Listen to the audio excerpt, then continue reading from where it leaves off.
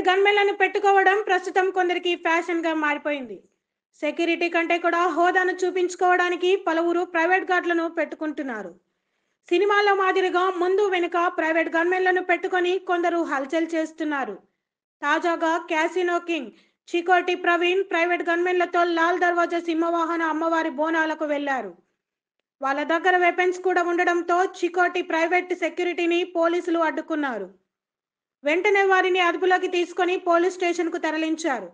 లైసెన్సులు రెన్యువల్ చేయకుండా గన్నులను వాడుతున్నారన్న ఆరోపణలతో నిందితులపై కేసును నమోదు చేశారు. విచారణ అనంతరం చికోటి ప్రవీణ్ను ఈ కేసులో ఏవన్గా మార్చారు. ఆయన ముగ్గురు గన్మెన్లు రమేష్ గౌడ్ సుందర్ నాయక్ రాకేష్ కుమార్లను రిమాండ్కు తరలించి వారి వద్ద వెపన్స్ని స్వాధీనం చేసుకున్నారు. అయితే తనను ఈ కేసులో కుట్రపూరితంగా ఏవన్గా మార్చారంటూ చికోటి ప్రవీణ్ ఆరోపించారు.